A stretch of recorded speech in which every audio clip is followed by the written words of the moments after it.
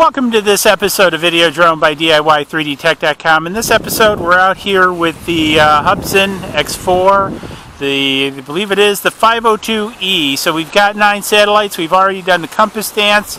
We got the lake in front of us. So uh, tell you what, let's go flying. Let's let's arm this bad boy and let's uh, bring it up in the air a little bit. And uh, let's do a quick walk around him, take a look. So always amazes me how this little guy can hover so well and, and does so well. I'm gonna be uh, I'm gonna go ahead and start the video. So we have the video running on it, and uh, let's sort of take it up.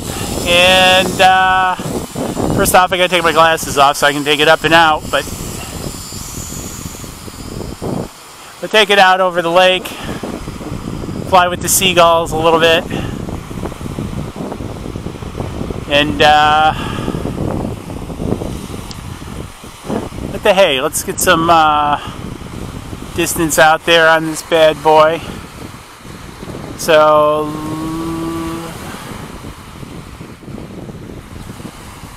oh, there it is out there. So, so let's yod back around a little bit, get some video,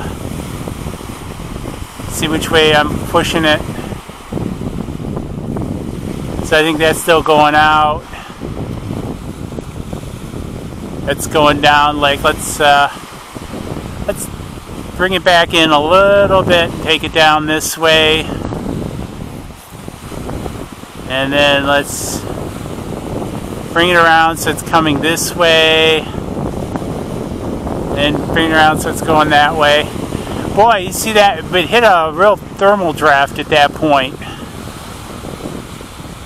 So bring it. So it's flying back around, back. I think it's flying back towards us. I just have a hard time to and from.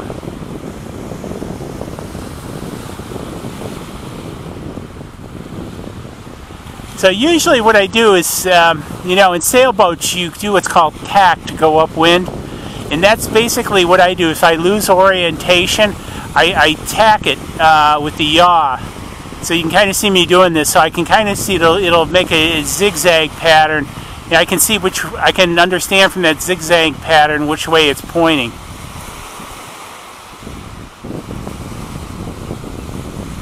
Ah, so let's pan it around a little bit.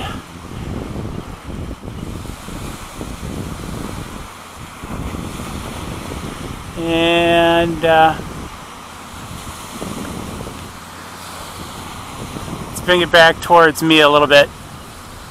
One of the things I have to get is a little timer like Quadcopter 101 has so I can uh, see how long it's up there. The one thing with the, with the very short base of this, it spins very quickly. Watch. So I'm spinning it now. In Norbert, you're probably getting a headache watching it spin, but it um, does turn very quick.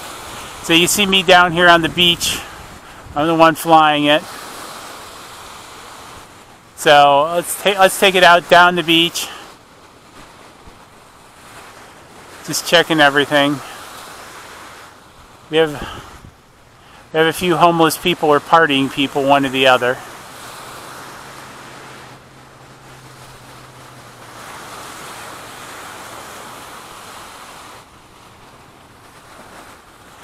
So just kind of tacking it backwards.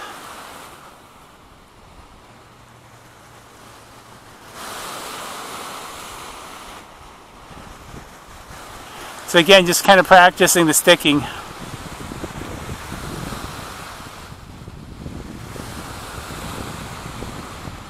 You can see this little guy is fighting a little bit of a breeze, so I got a full stick and that's all it's uh, I'm getting out of it. I want to take a look here, quick look. I got to put my glasses back on to see the batteries. Batteries, I got two, so I'm not too bad just as of yet. So let's bring it back down a little bit.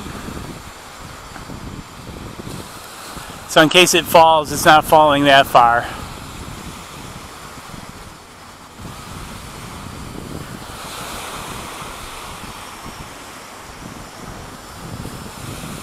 So let's take it out a little bit just at a lower altitude and see how it does. So I'm flying this a little bit lower now.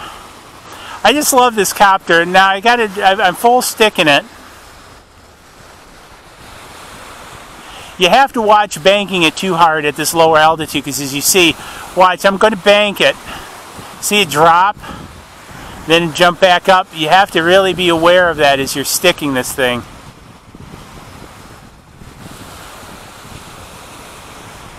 I think that's a former for, formal pilot term, sticking, isn't it? I don't know. If not, I just made it up. So now I bring it back towards me.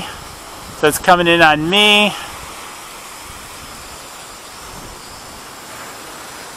And I'm to save the video out just to be on the safe side. I'll restart the video again. Let's go up take a look at the kite eating tree a little bit.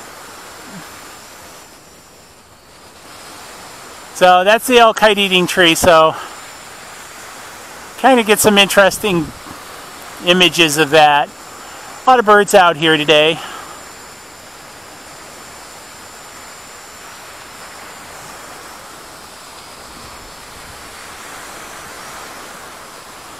So I think we're probably getting pretty long in its battery life, so I think it's probably about time we bring it down and, and land it. So let's uh, bring it back around this way.